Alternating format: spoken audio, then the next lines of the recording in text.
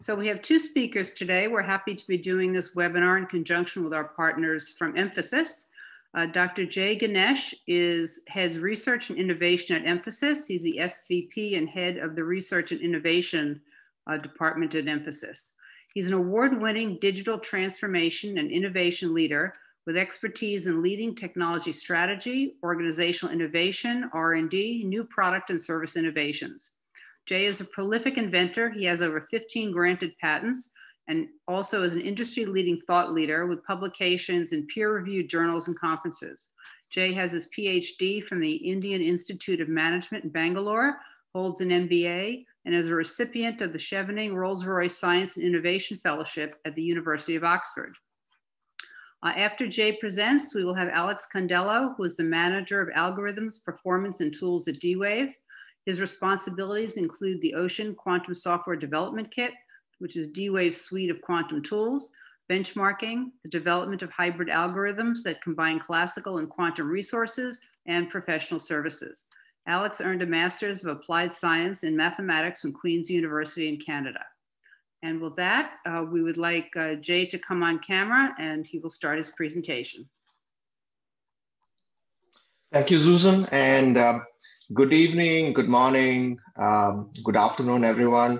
I was looking at the chat window, window about all the participants, and I truly see all the continents and several countries being represented. Thank you for attending the webinar. Uh, and uh, between me and Alex, we will try to keep you engaged as much as possible, uh, and we'll share uh, what experience we have gathered in the quantum space with specific focus on uh, financial services. Let me start the slides. So these are uh, the five broad areas uh, we plan to cover in today's session. It's a one hour session. Uh, we will start with a very brief introduction of quantum computing for those who are new to this, to this area we'll straight away jump into business application. So that is where uh, where we find application of quantum for various industry verticals.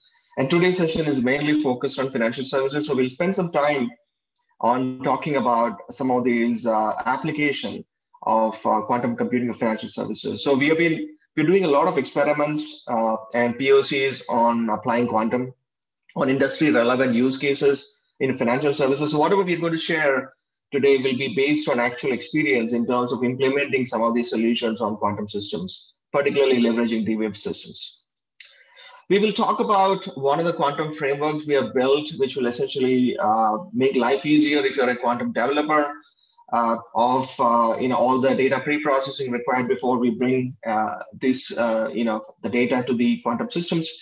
I'll then hand it over to Alex. He will talk you through uh, some examples and some of the practical quantum computing scenarios, which is leading at D-Wave. Finally, you'll come back to me and I'll talk through a few demos. So these demos will be a very interesting part where we'll actually run a live quantum algorithm uh, based on an actual uh, industry scenario. So we, we picked up uh, financial services portfolio optimization, uh, anomaly detection financial services, and uh, route optimization in logistics as three use cases uh, where we'll walk you through the use case as well as show the demo.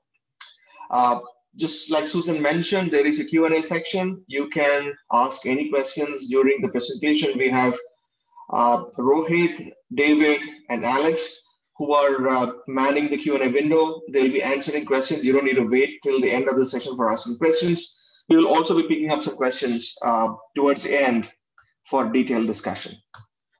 So let me start with uh, a brief introduction about the evolution of computing itself. So we all have seen and read these across uh, several publications and discussion forums in terms of how we started from vacuum tubes to transistors to ICs to microprocessors and crunching more and more of transistors uh, and making uh, you know the entire uh, Moore's law run uh, you know for a few more years.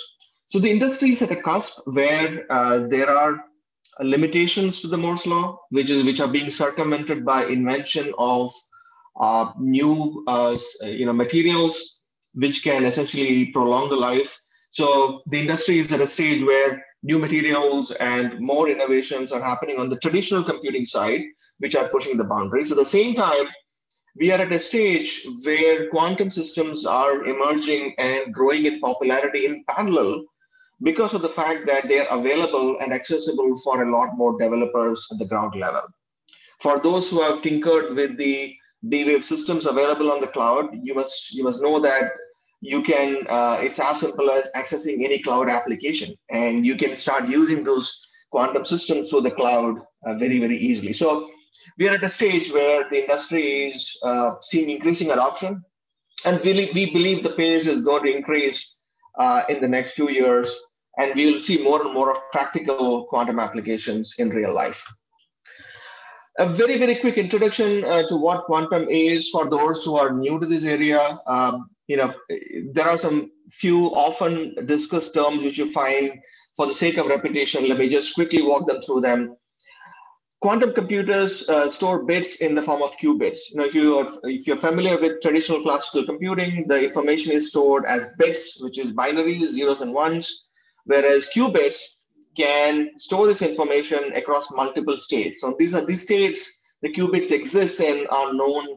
Uh, you know, this is this phenomena is known as superposition, where simultaneously you can be in multiple states at the same time, and this gives you uh, the ability to manipulate these qubits in previously unknown fashion, right? So imagine uh, a system which can exist in multiple states at once, right? So from a classical thinking point of view, this is even difficult to comprehend how such a phenomena can exist, right? So that is what we're discussing from a quantum uh, physics perspective. These states with the qubits existing are manipulated using precision lasers and microwave uh, beams. So that's what happens once you open the, uh, you know, the innards of a quantum system for that matter. So this is, uh, you know, it is cooled at a very low temperature. It is manipulated using lasers and all the other science behind it. So, and, and most importantly, a quantum computer with several qubits in superposition can crunch through vast numbers of potential outcomes simultaneously because you're existing in multiple states. You're able to manipulate data because you're not constrained by just zeros and one. There are many, many possibilities you can experiment with. Essentially, a very, very probabilistic computing approach rather than a deterministic zero and one based computing approach.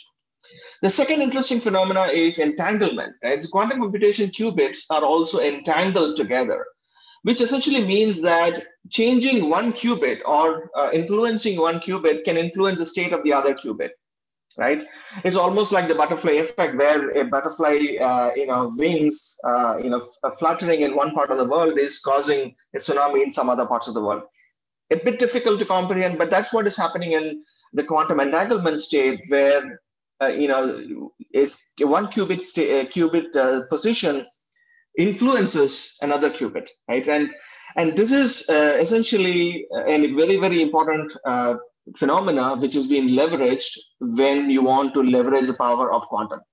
Superposition and entanglement are two important characteristics which we leverage for building our algorithms, for testing our algorithms, and of course getting all the uh, you know jump up exponential benefits we get out of uh, leveraging quantum systems for, uh, for, uh, for, for solving a lot of the problems. So these two, uh, three areas which I mentioned, quantum superposition, I'm just reiterating the few points, is a feature where a system exists in several separate states at the same time. I spoke about this. Similarly, entanglement is what Einstein called a spooky action at a distance, where two particles or objects seem to affect one another regardless of the range or how far they are, how, far apart they are from each other. And finally, coherence is where the quantum system maintains a superposition and interference. This can be milliseconds or tens of seconds or even minutes. The more coherence time you get, the more steps you can do. As you know that quantum systems are extremely fragile and you need to be in a coherent state. Incoherence means that you're losing the stability of the system. So you need to be in a coherent state. And that's why the systems, the quantum computers themselves are maintained at very, very low temperatures, free from the Earth's magnetic field and gravity and all the other forces. So they need to be extremely, uh, you know, maintained extremely uh, carefully.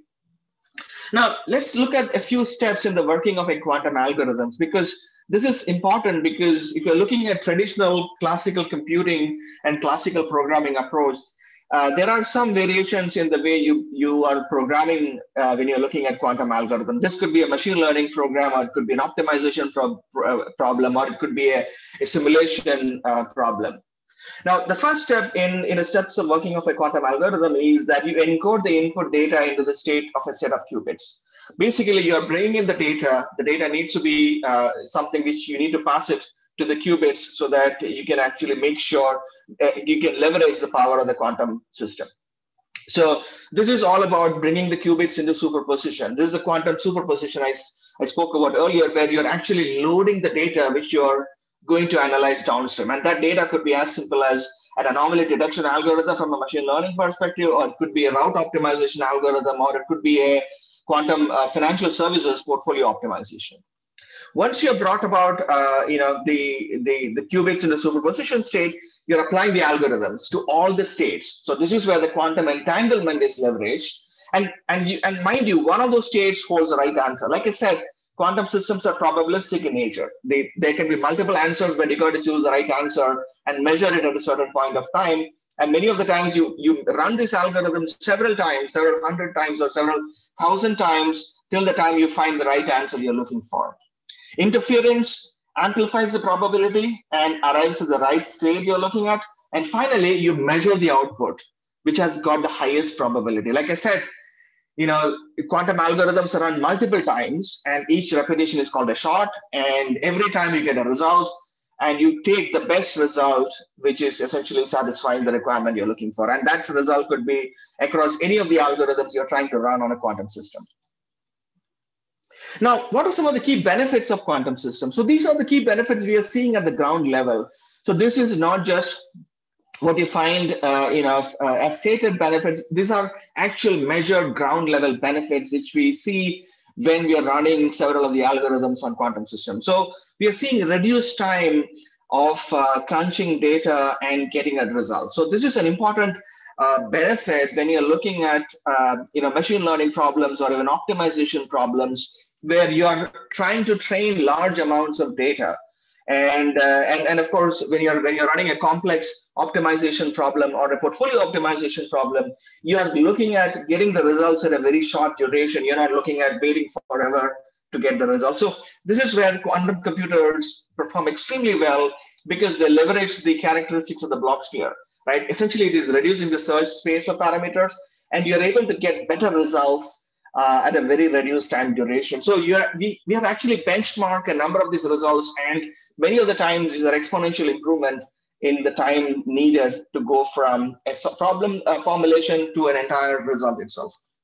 We're getting optimal solution in many of the cases, which is an important benefit because uh, like I said, you know, uh, when you're looking at uh, solving a complex problem, you are essentially looking at getting the best solution and quantum tunneling helps here. And finally, we are getting improved prediction uh, for several scenarios, uh, you know, using quantum systems. So these benefits are something which are quantified.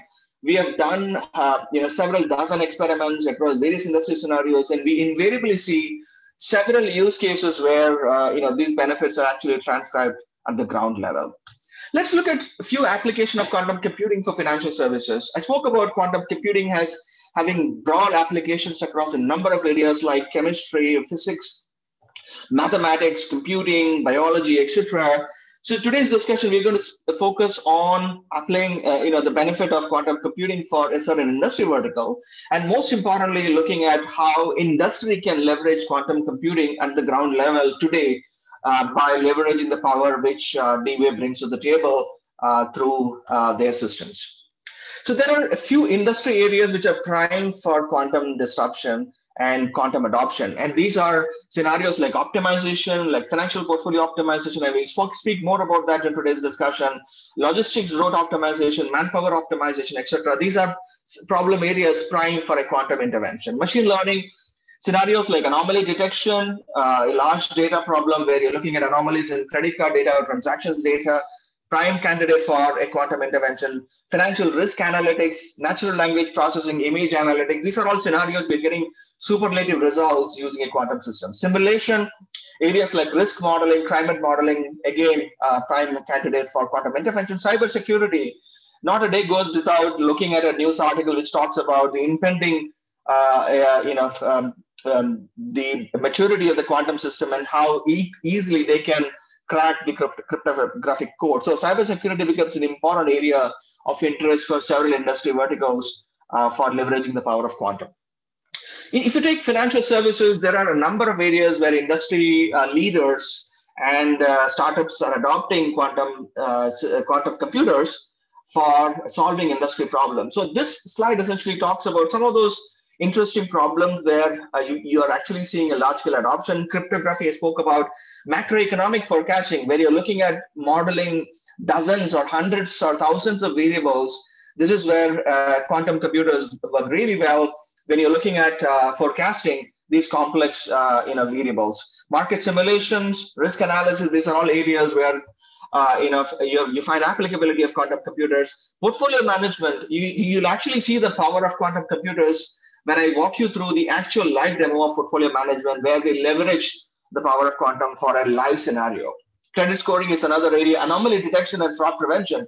Because of the fact that you're able to uh, look at large amounts of data, it could be time series data, it could be uh, you know uh, data coming at a very fast pace, it could be credit card transactions or even banking transactions. You're able to identify anomalies much more accurately with very very less number of false positives security pricing, treasury management, these are all areas where we're seeing adoption of quantum computing across industry verticals. And these scenarios are something you can start experimenting with today because you have uh, machines available, you have several algorithms available, there are open source communities, uh, and, and it's easy uh, you know, to actually start looking at these scenarios because data sets are available.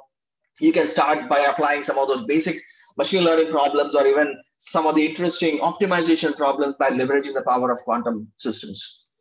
Now, I spoke about some of the scenarios. These are examples of actual companies who are leveraging uh, the power of quantum to solve actual problems. So this is all based on secondary data from various news articles and sources. Portfolio optimization is one area you're finding maximum adoption across several industry verticals because of the fact that you know portfolio optimization is a complex problem. You're looking at optimizing several factors and variables and you need to get to the results very fast. And you're looking at a large number of uh, historical stock data and you're looking at various permutations and combinations. So that is one use case where you're finding a number of industry leaders adopting quantum for solving uh, that particular problem Credit screening is another problem area we are looking uh, at. Uh, people, uh, you know, industry leaders have adopted. Similarly, uh, loan portfolio optimization, security pricing, and trading strategies. So these, this is just a, this is just an illustrative list of uh, you know uh, key players adopting quantum computing for financial services. If you search around, you'll find a lot more examples. But some of these examples are at a very very early stages. But if you look at something like portfolio optimization, you're actually able to see results and very, very solid results at the ground level. Now, if you look at technology choices when you're looking at adopting quantum, there are two types of uh, computing systems. Uh, you know, uh, uh from a quantum computing perspective, the one is uh, annealer-based systems, and of course, uh, gate-based systems. D-Wave, we are going to talk more about annealer-based systems. Both of them have their own benefits and disadvantages. But if you look at the, the, the, the D-Wave advantage systems and some of the leap systems, they're extremely powerful. They're easy to build, and we're, we're seeing fantastic results on using an annealer-based system. So, so most of the examples I, I speak about from a demo perspective towards end are, are solutions we have built on annealer-based systems, uh, you know, using D-Wave systems. Uh, let me speak a bit about the Mphasis uh, energy optimized network. I spoke about the complexity of uh, quantum computing in terms of limited number of qubits available because of the fact that the uh, the number of qubits are just not enough for solving complex problems. And most importantly, the data needs to be pre-processed before you brought in, bring in this data to a quantum hardware because you cannot just straight away bring in the data to a quantum system. It needs to be brought ready uh, so that you can do the benefit, you can do the manipulations around superposition and entanglement, etc. So the data needs to be pre-processed. So at Mphasis, we are working on is uh, the, the solution called Mphasis Eon, which is an energy optimized network which takes care of this complexity of pre-processing and feature engineering of data uh, for machine learning systems and an equivalent uh, pre-processing from an optimization perspective as well. So this the framework reduces the feature dimensionality, which essentially means that you're able to leverage uh, you know the power of the system and get better results with the limited number of qubits you're able to uh, leverage. And it also takes care of the pre-processing of data. So this is how eon works uh, it takes care of the entire steps from a pre uh, feature engineering and pre-processing perspective when you're looking at any of those problem scenarios you spoke about the data which is brought about is passed through eon framework it takes care of all the uh, you know complexities of the data so that the data is ready uh, to be brought into a quantum system. So it, it reduces the time taken from a developer uh, to, to manipulate all the data pre-processing activities. And using EON, we are seeing better results uh, you know, from a training time, needing fewer qubits and reduce information loss across the board for several of the scenarios we're talking about.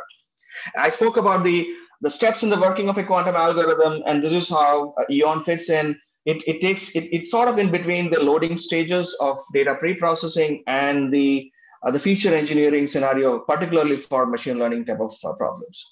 A few points to consider. I know I'm uh, short of time. I need to hand it over to Alex. Few points to consider while adopting quantum computing. It is revolutionizing the way we are approaching quantum uh, computer science and logic. So be ready to look at new algorithms. Be ready to look at rewriting traditional algorithms to suit computing systems. So we're, we are in for some exciting times because we're going to change a lot of the traditional assumptions and traditional systems which have served us for many, many years. New programming paradigms and languages are emerging, new algorithms are emerging, and most importantly, exciting new ways of lo writing logic is emerging because you're going to leverage new fundamental computing features like superposition, entanglement, etc quantum computers are extremely powerful, but they're not for all problems. So there, there are certain types of problems that are best suited from a quantum computing perspective. These are problems typically optimization, machine learning simulation. They're well suited from a quantum computing perspective. It is not for all problems, but there are certain problems that are extremely powerful to be leveraged by uh, quantum systems. They're not a replacement for classical system. They will continue to exist. They continue to coexist for certain set of problems, QC quantum computers are much more powerful and much more relevant, and they can give you disruptive advantage. So the next part is the demos uh, and the uh, use cases, which will come back in a few minutes. So I'll first hand it over to Alex. Uh, he will he will finish his part of the presentation and come back, and I will come back with uh, a few demos and some live examples. Alex, over to you.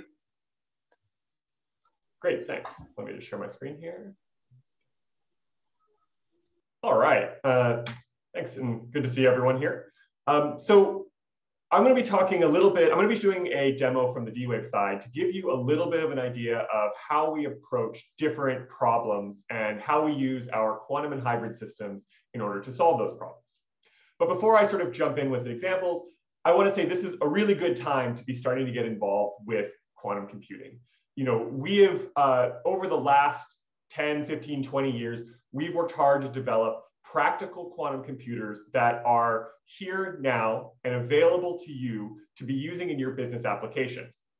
We've also been developing hybrid solvers, and I'm going to be talking about hybrid solvers quite a bit later, but I'm going to define it really quickly right now as any solver that makes use of both classical and quantum resources together to give you the best of both worlds for solving problems.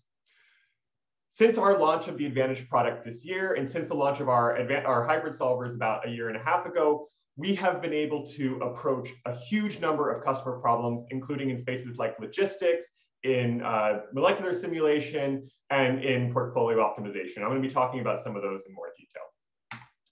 But before I jump into some of these more lofty examples, I would like to start with a relatively small, motivating example to give you all a sense of how we think about solving problems on our system. And the example that I want to run with is pipelines. Imagine that you have a network of pipelines, and you can see such a network pictured on the right-hand side. And these pipelines are joined at various junctions. What I would like to do is I would like to find a minimum set of junctions from which I can monitor every single pipeline. Now, you might be looking at this problem, at this graph, and you might be saying, okay, you know, I can probably do this in my head. But I will tell you that as this thing gets larger, this becomes an increasingly difficult problem. And in fact, it's actually an example of an NP hard problem. That's one that's exponentially difficult for classical computers to be able to approach. So as I said, I want to be able to find, if I want to go about solving this problem, I want to be able to find this minimum set of junctions. And actually, this is a really well-studied problem in computer science. This is called a minimum vertex cover problem. The tool that we would like to solve this problem with, the tool that we need to solve this problem with if we want to use our quantum computer directly, is the so-called binary quadratic model. This is the tool that we use to solve it. And, and, that's a lot of verbiage, but just to break that down a little bit, um, binary means that we, each of the variables in our solution need to be binary. Yes, no, red, blue, uh, left side, right side, or say uh, junction monitored, junction not monitored. The quadratic implies that we need to have some sort of pairwise relationship between our decision variables, between the variables in our problem, which again, in the context of the pipeline, is, you know, our pipes are pairwise. They have two junctions on, on either side. That's a quadratic interaction.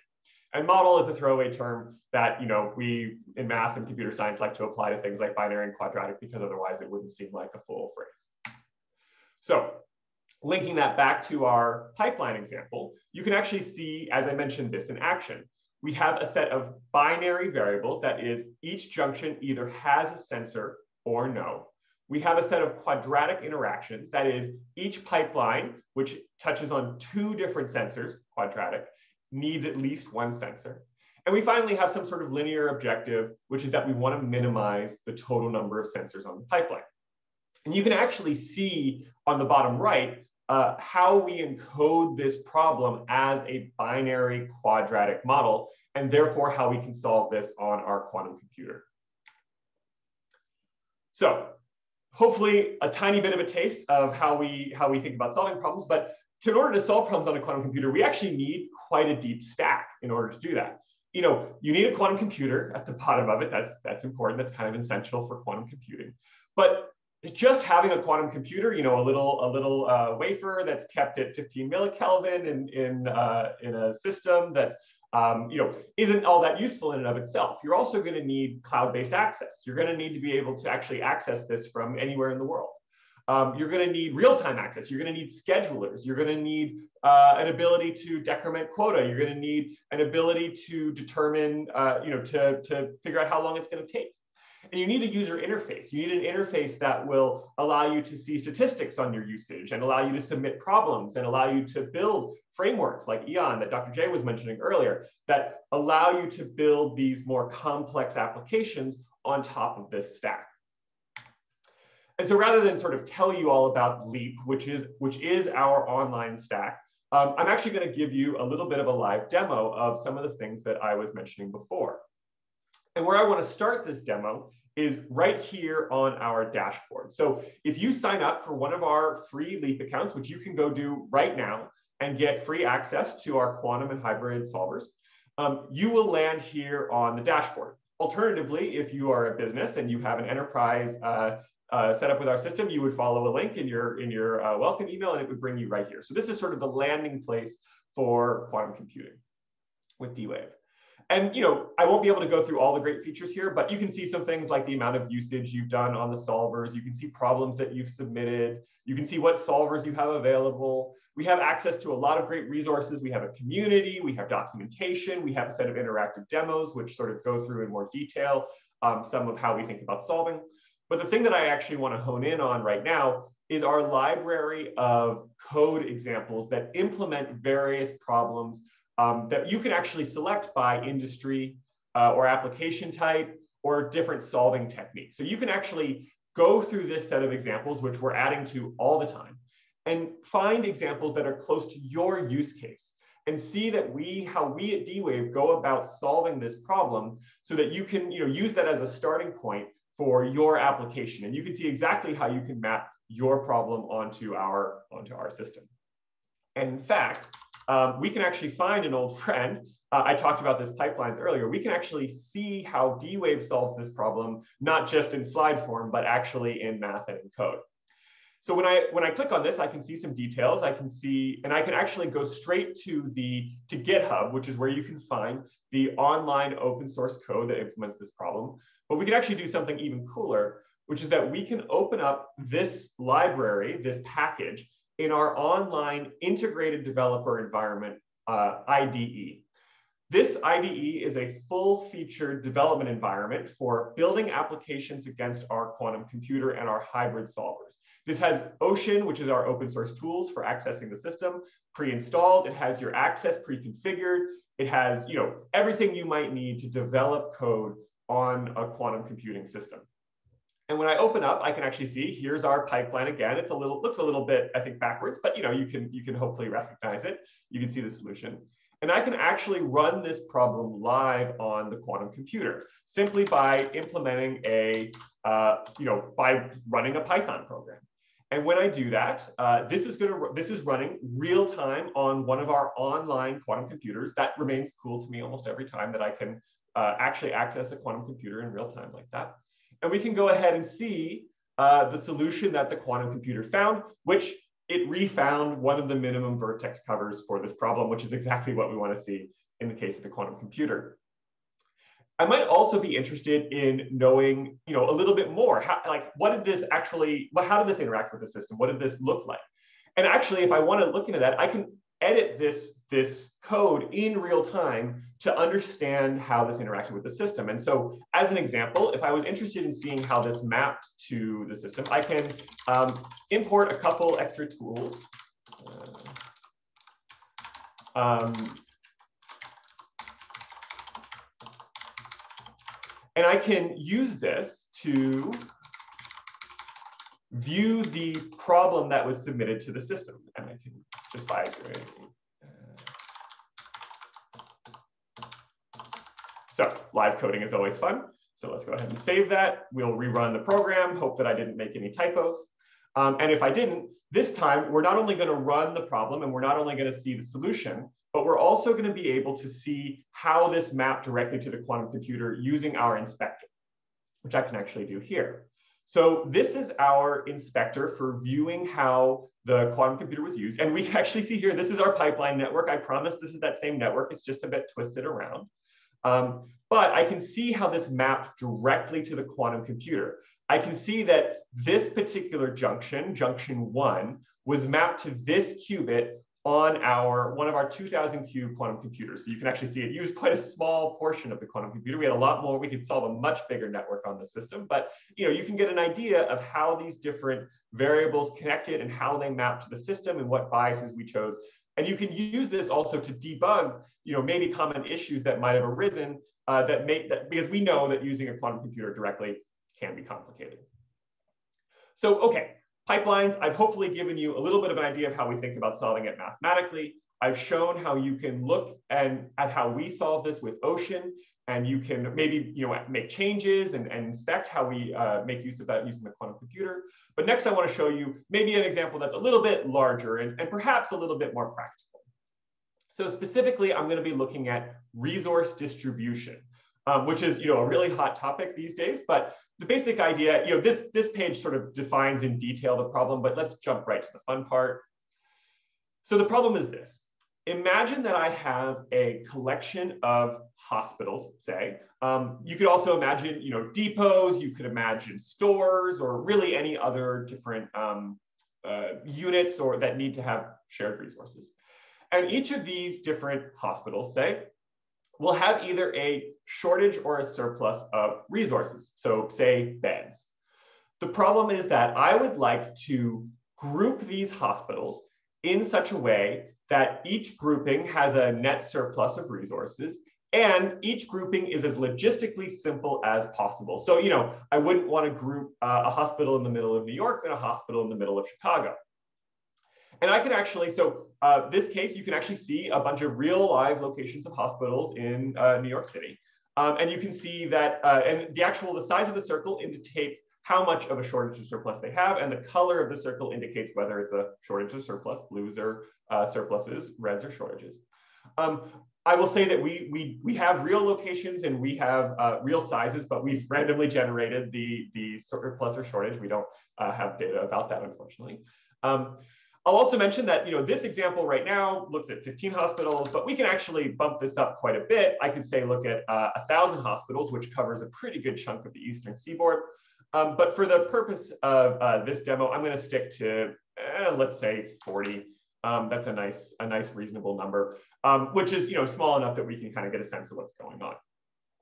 Um, and I'm actually going to go ahead and uh, start running this problem on the quantum computer. Actually, this time, one of our hybrid solvers, which, as I mentioned before, are solvers that combine the best of both classical and quantum together. So when I submit this problem, rather than running on the quantum computer directly, like I did in the pipelines example, you know, I, you remember I could sort of show you which qubit each uh, junction mapped to.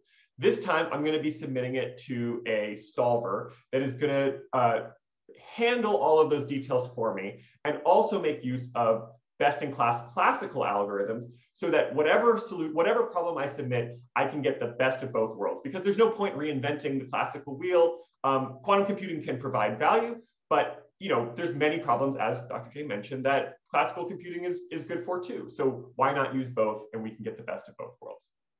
So, um, you know, as said, while that's running, um, I can also configure things like the partition size, so the groups, the numbers of hospitals that I want to group together. I can also configure the number of neighbors that I want to consider for each hospital. So, you know, I don't want to, as I mentioned, consider a hospital in the middle of New York uh, versus another hospital in the middle of Chicago.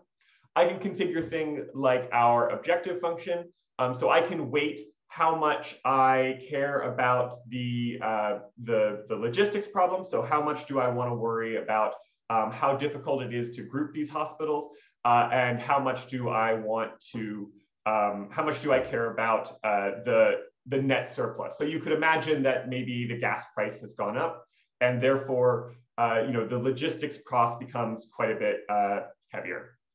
So you can actually see now uh, an example of uh, the solution that was found by our hybrid solver.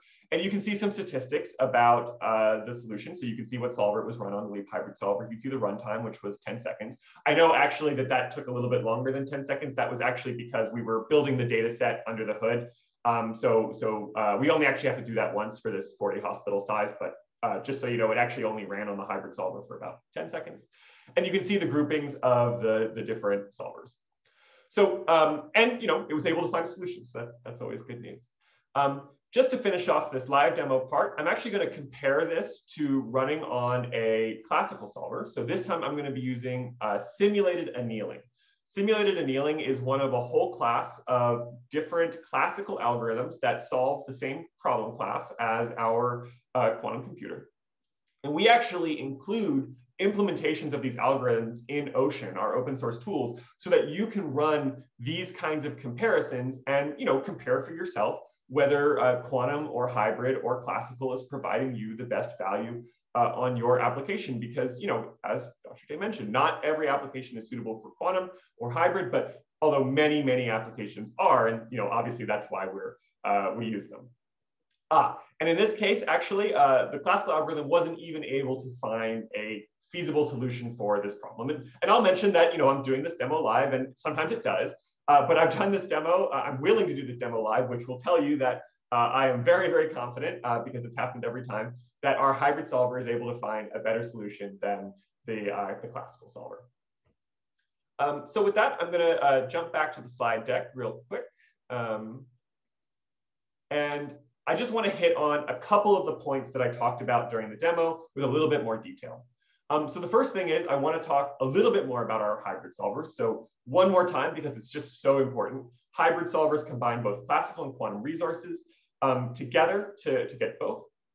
And we actually have two hybrid solvers available in Leap right now. We have our binary quadratic model solver. That's the same problem class that I uh, showed you before for the pipelines. But instead of solving, uh, say, 5,000 variable problems, which is the size that can be uh, embedded directly onto our Advantage processor, it can solve problems with up to a million variables.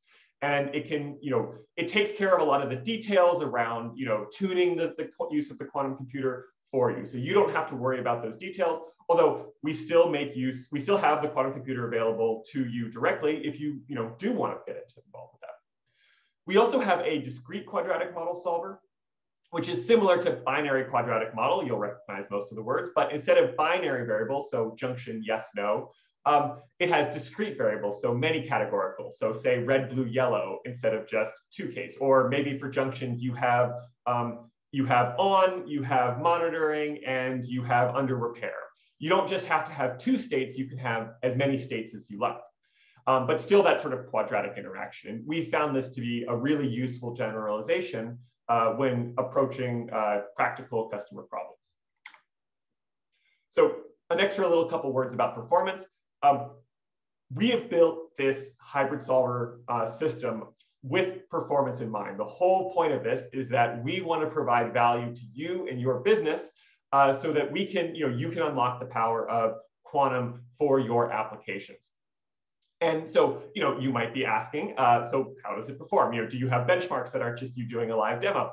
Um, the answer is yes. We have several white papers that are available on our website, and I'm sure we'd be happy to provide the link in the chat, or you could go to our website and check it out. Um, but the highlight is that uh, we use a third-party open source um, benchmarking suite called MQLib, uh, which provides a collection of state-of-the-art solvers that are all competitors in some sense to our solver because they solve the same problem um, as well as a set of different examples uh, or, or problems that you can use to benchmark. And we compared our solutions against, against theirs. And when we did that, we found that we were better than all 27 of classical heuristics on 87% of the application relevant inputs. So that's actually extremely good. All of these solvers are heuristics. There's a lovely theorem called the no free lunch theorem, which states that there is no one true solver. Um, so 87% is actually really excellent. Um, I'll also mention that, you know, as the white paper goes into, you might be asking, okay, great, uh, does the quantum computer help? And the answer is yes. Um, we can do, you know, the, the most obvious test, which is to compare uh, just the classical component of our algorithm with the classical component plus the hybrid component. And we find when we do that, that, you know, we get better performance with the hybrid component. So before I hand it back, uh, I just want to touch on really quickly um, a couple examples. We have many, many examples of practical problems that you can use, you can build uh, using Leap. Um, I encourage you to go check out our website to, to see some of those. Um, but just to hit on a couple really quickly, uh, we looked at, we've done portfolio management, which uh, a third party named Multiverse did with BBVA and Bankia, which found that lower turnover rate, that there were lower turnover rates, lower transaction costs, and higher returns with lower volatility when you made use of our systems. Um, we've also looked at logistics problems. So for instance, we worked with Save On Foods, which is a Canadian grocery company, uh, and they found that they were able to save dozens of hours um, in, in their logistics problems, in solving their logistics problems by making use of our systems. And so with that, uh, I am going to uh, simply suggest that you check out Leap. As I mentioned, you can get free access just by making a free account with our system. You can get real-time access to our quantum and hybrid systems to start building applications right now. And with that, I will pass it back. Thanks, Alex. So the next part is uh, the interesting part of today's discussion, where you actually, uh, you know, see some business applications of quantum systems. So we will actually run um, uh, the D-Wave system on a few use cases. Uh, we have chosen two use cases for today's uh, discussion. Uh, the first one is portfolio optimization. Like I said, this is the most popular application of quantum systems in financial services. So we picked it up uh, for today's discussion. Uh, this is the result we're getting in today, you know, the latest experiments we're doing. and today we'll discuss some of these results. And then, of course, uh, you know, we, we keep experimenting with this, uh, uh, you know, with this scenario on a regular basis, and we're pushing the boundaries in terms of how much of data we can pass to the system, how much of improvement we can get in accuracy, what are the best portfolio we are able to get, etc., etc. So the so the experiment we are going to run today is uh, about uh, 30 stocks from a Dow, the, the Dow Jones Index, Dow 30 uh, we are looking at the stock performance uh, for the last five years. So we are going to feed the last five years data to the system, and uh, we have built the portfolio optimization algorithms in the backend, and uh, and we ran the same experiment for the portfolio optimization for a classical system and a quantum system. So this is the way we run all our experiments so that we know what the results we're getting uh, for both the systems. So this is the results we're getting on an average basis. Uh, the, the objective function here we are trying to do is we are trying to minimize the portfolio risk and maximize the return. And we also put a constraint uh, here that no one stock, but a stock should be uh, more than 10% of the portfolio. So you, you, you see that we, we got very good results in terms of not just the time in from 13 seconds from a traditional system to uh, 0.3 seconds, we are also getting better uh, portfolio results, uh, as you can see from the, uh, the, the recommendations from the quantum systems. So let me show you the, the live demo and the efficient frontier, uh, the portfolios come in. Now, this is the this is the demo for the system. Uh, you can actually, uh, I'm choosing a pre-built model. Uh, you can choose between various uh, indices. So in this case, we are taking Dow 30 and we are taking the last five years data. I've chosen uh, this data set and I'm doing a submit.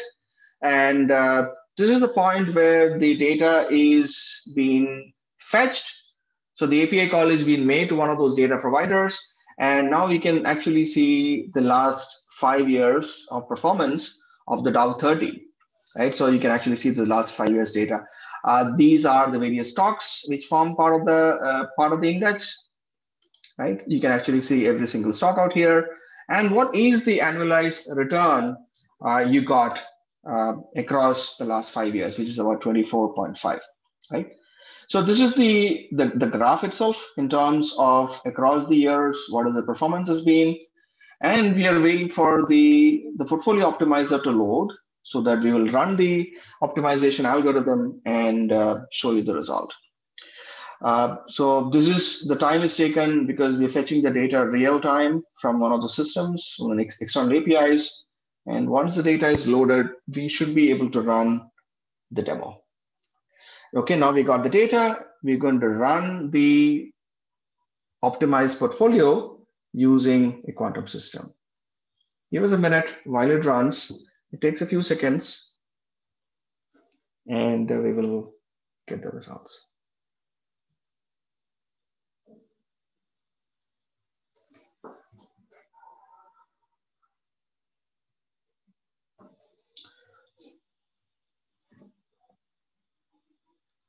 Now the, the engine has done its job. Now you can actually see the results of an efficient frontier. Uh, the blue dots are the simulation. We are using Monte Carlo across several portfolio combinations. And the amber ones are the ones which the quantum system is provided. You can actually see from this experiment results that the, the quantum portfolio is consistently beating the, the classical approach or uh, the traditional approach, right? You can actually see uh, from a from a risk and a return perspective, each one of these, uh, you know, uh, the the portfolio which the engine is recommending for each one of them. For example, if you take this particular um, amber dot of a recommended portfolio, which has got uh, a risk return of, uh, you know, you can see from the axis, it is recommending to choose these stocks from the Dow 30, right? It's it's telling you to choose between Visa, Apple, and all the others, uh, and what should be your recommended allocation for each one of these stocks. And it is also telling you what could be the potential return and the risk from this entire portfolio. Similarly, each one of these amber dots, you can go here and you can see the risk return trade-off the engine is uh, suggesting based on the analysis of the last five years of data. So you can essentially play around with the system and pick up what works best uh, based on the risk profile, the age of the customer, the various life goals the customer has set, et cetera, et cetera. So it's essentially, you can see the, the benefits for you know $100,000 if it's been invested, what could be the return and the trade-offs across the various portfolio options. Okay, so let me jump into the second demo. The second demo is from the logistics space. I know this is the scenario discussion for financial services, but nevertheless, I thought I'll bring in the portfolio, uh, the, the logistics optimization along with the portfolio optimization because that gives an interesting contrast. So this is a scenario we're looking at last mile delivery. So this is a problem faced by many enterprises, logistics, retail, etc., where you need to deliver a certain good or an item uh, at the last mile. So this is uh, where you the the the the, uh, the truck reaches a, a large depot and then you pick up the parcels and uh, you know uh, load it into smaller trucks and then these trucks go and deliver these boxes to the end customers. So this is the scenario we're going to show here. Uh, again uh, for the first experiment it was running at the d-wave solver. Again same thing. We are running the same uh, this experiment the logistics optimization also on a d-wave system at the back end. Uh, i'm running a new experiment here. I'm choosing a truck which is 100 And this is just a fixed capacity. You can choose a fixed capacity or a varying capacity truck. For today, I'm just choosing a fixed capacity truck. I'm just choosing a capacity as 100 and I'm, uploading a, a data file, which is just an input file of the sample coordinates uh, for whom the packages needs to be delivered. So, so you can see that this data input which is being made has got the, the depot number, which is D0, the geographical coordinates, the, the lat longs, the customer demand, uh, what is the demand from the customer, uh, the time uh, the customer wants it to be delivered. These are constraints which are being programmed into the entire thing. I do submit, and this is the point uh, where the engine is allocating uh, the various customers. Uh, you know, these are the you can see the customers and the depot in a map. Right? D0 is the depot, and these are the various customers to whom the packages needs to go from a last mile perspective. I'm doing assign packages to vehicles. So this is the time where the data is hitting the D-Wave system at the back end. Um, give us a few seconds. So typically, uh, you know, it, it gets you the results in usually 10 to 15 seconds. So you can actually see the power of uh, power of uh, cloud here because uh, previously this would not have been possible. And just because the quantum systems are available on demand on the cloud, you're able to do this experiment uh, without needing to spend the millions of dollars yourself to buy and procure these systems, right? So, uh, so, so the engine has done its job. You can actually, you actually saw that it took less than 10 or 15 seconds uh, to run the entire thing. I, I talked about the various uh, allocations now, the, the algorithm has done its job in terms of identifying and recommending which vehicles need to go and, and deliver which of these items. For example, it is it said that give, it's identified given the uh, you know uh, your dispatch scenario you're looking at, uh, it's recommended five vehicles and it is generating the routes for each one of these vehicles. So now this is the final recommended route for all the vehicles. It is telling you that it will take 15 hours, 556 miles, and how which route each vehicle should take. It's almost like a traveling salesman problem, but not really a completely traveling salesman problem, but some, something where you need to go and deliver these items uh, at one customer after the other. So you can actually choose uh, each one of these vehicles. Let me choose one of those vehicles, vehicle uh, two. It is telling you that this is the depot from which you're, from you're starting. Go and deliver to customer one, come to customer two, come go to customer three and four and come back to depot for refilling. Similarly, for vehicle three, it is uh, telling the, uh, the driver that you start here, uh, go to customer one, two, three, four, and five, and come back. Right. So basically, very detailed recommendations. It is also calculated the the cost incurred per vehicle, the capacity saved, the time taken, uh, the capacity utilized per truck, etc., etc. So you can actually make a very informed decision rather than just a decision based on uh, any historical trend and data. So it is real-time optimization. You can also bring in more complexities in terms of the, the traffic patterns or any of the other externalities uh, brought in by climate or any of the other uh, local disturbances you want to bring to the table. You can bring those optimization scenarios uh, as part of the algorithm also. Let me come back to the third scenario. I am, in the interest of time, I'm not showing you the demo because we want to spend some time on answering Q&As. So this is the anomaly detection scenario I spoke about, uh, where you're trying to identify anomalies in a credit card data set. Uh, there are there is anomalous data in terms of fraudulent transactions. Uh, we ran the same on classical systems versus quantum systems, and you can actually see the improvement. This is a 1 million plus data set we trained the engine on. This is a pure machine learning problem and you can uh, you can see the improvement in terms of the precision, accuracy, as well as the uh, F1 score across the board uh, for this when you ran in classical versus quantum system. Uh, that's it. Uh, in the interest of time, I take a pause. You probably have five minutes for uh, Q&A. Great. Thank you so much, Jay and Alex. We've answered over 56 questions, and we still have a lot of open ones we'll try to get to we don't get to answer your question in the next few minutes, we will respond over email. But I have a number of questions first. Um, so this one is for Alex. Uh, what is the frequency of use required to justify the claim that annealing reduces power consumption? The program doesn't run nearly as long, but a ton of power is consumed in keeping qubits supercooled, protecting against vibrations, etc. Uh, yeah, awesome question. So actually, um, there's a, I think there's a bit of a misconception, which is actually very little power goes into keeping our qubits cool, because if we pumped a bunch of power down there, we would be heating them up.